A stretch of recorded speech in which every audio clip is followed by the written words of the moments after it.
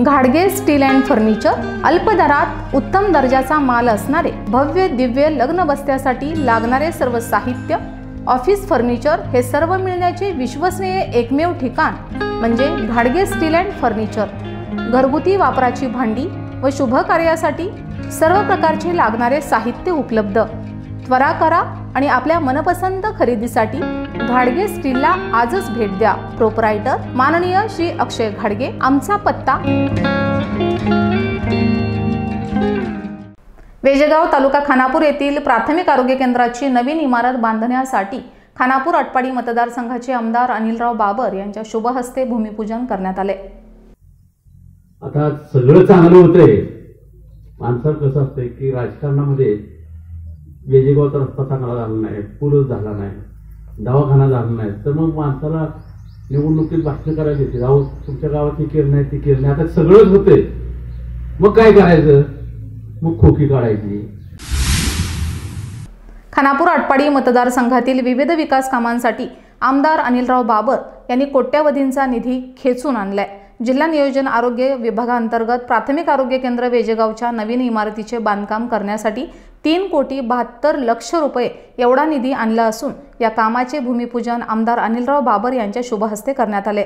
यावेळी बोलताना आमदार अनिलराव बाबर म्हणाले आता सगळं काही चांगलं होतंय. अजून एक वर्षानंतर रस्त्याचं काम करण्यासाठी रस्ता हुडकाय लागेल. आता सगळं चांगलं होतंय. एवढी गोष्ट पूर्ण झाली नाही. तर राजकारणामध्ये माणसाला निवडणुकीमध्ये भाषणं करायला येतात. हे केलं नाही ते केलं नाही. आता सगळंच केलंय. मग करायचं काय? मग खोकी काढायची असं म्हणत विरोधकांना टोला लगावलाय. सर्व दृष्टीने गावाची प्रगती कशी होईल? आपल्या मतदारसंघाची प्रगती कशी होईल? हे आपण प्रयत्न करतोय. आपण तीस बत्तीस कोटी मुख्यमंत्री सडक योजनेमधून आता रस्त्याला आणलेले आहेत. अजून एक दुसरी यादी आहे ते सुद्धा येत्या महिन्या दोन महिन्यात मंजूर करून घेतो आणि त्र्याऐंशी कोटी रस्त्यासाठी आपण हे आहे. आणखीन एक वर्ष गेल्यानंतर मला रस्ता हुडकायला लागेल की कुठं काम करायचं. चांगल्या पद्धतीने वाहतूक व्यवस्था सुरळीत चांगली करायचा प्रयत्न करतोय. आता सगळं चांगलं होतंय. माणसाला कसं असतंय की राजकारणामध्ये वेजेगावचा रस्ता चांगला झाला नाही पूलच झाला नाही दवाखाना झाला नाही. तर मग माणसाला निवडणुकीत भाषण करायची होती. राहू तुमच्या गावात ही केलं नाही ती केलं नाही आता सगळंच होतंय. मग काय करायचं? मग खोकी काढायची. अहो एवढी खोकी घेऊन फिरायचं अवघड आहे ना? कायद्याचं राज्य आहे. मला वाटतं एक आठ दहा दिवसापूर्वी वर्तमानपत्रात बातमी आहे त्याची. आणि ते भाजपचा आमदार आहे. कर्नाटक मधला भाजपचा आमदार आहे. त्याच्याकडे पाच कोटी सापडले. पन्नास कोटी माझ्याकडे सापडायचं झालं. तर मला सगळ्या देशातल्या दुकानदारांना गाठायला लागत की तुझ्याकडे पन्नास लाख त्याच्याकडे पंचवीस लाख ठेवून येत नाही. आणि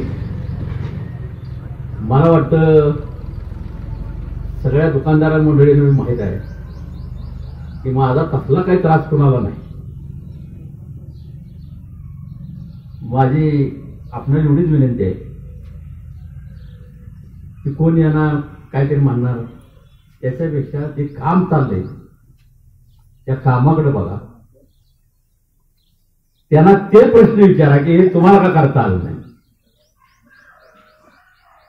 मी तुम्हाला एवढंच सांगतो की दोन वर्षाच्या कालावधीनंतर आपल्याला महाराष्ट्रामधले तुमचे कुठं नातेवाईक असतील ते सगळे इकडं आल्यानंतर ते म्हणतील एक नंबरचा मतदारसंघ आहे. असं चित्र तयार करायचा प्रयत्न आपण करतोय त्याला तुमची साथ असावी. अशी या निमित्ताने मी अपेक्षा व्यक्त करतो.